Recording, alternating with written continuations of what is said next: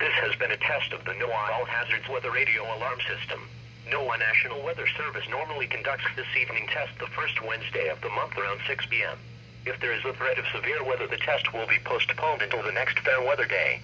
This test is conducted to give you the opportunity to ensure that your radio alarm system is in good working order. This has been a test.